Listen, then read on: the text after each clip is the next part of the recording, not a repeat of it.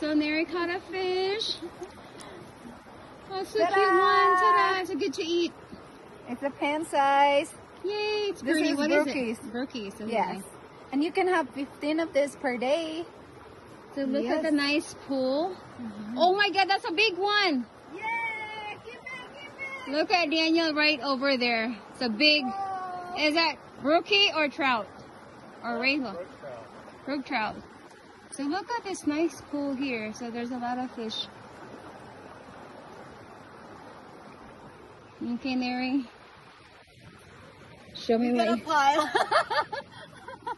hey guys, we can have 15 per day, so this is what happened. We feel like we didn't have food. hey, we're gonna put it in the freezer because um, we don't really go up to the mountain a lot, and uh, and mountain fish is really delicious. So you want to stock up, and um, so you have enough in the winter. We have long winter here, so you have to hustle in the summer and get as much food. So I'm just getting it. Uh, It's on now. yeah. That's a big one. Ready? so Say something. So here we are.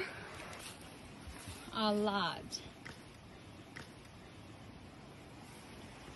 And that's Daniel. Hi, Daniel. Hi.